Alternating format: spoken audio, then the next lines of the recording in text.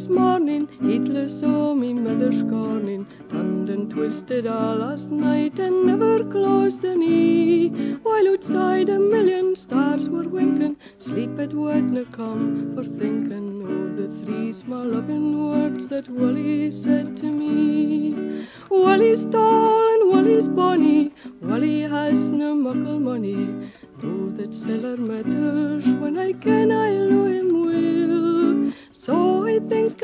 I'd tarry, bide a wee afore I marry. No till Willie catches mair than partans in his creel.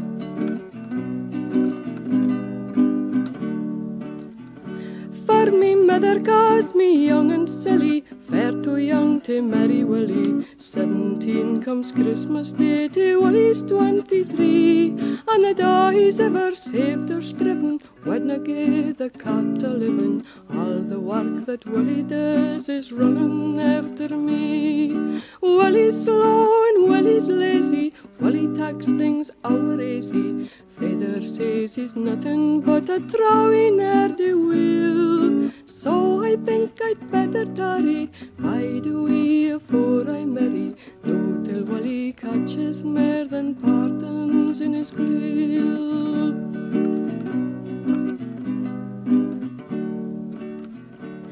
There's a pity croft among the heather, where he says we'll bide together, whiles he'll mak a living wi' his body on the sea. There's a wee bit hoose his feather bigot, stoutly thatched and snugly rigged, waiting to be taken o'er by Willie and by me. Willie stands around and whistles, Willie's fields are full of thistles, thistles never brought a body any milk or. Think I'd better tarry, bide a wee afore I marry. No till Willie catches mair than partans in his creel.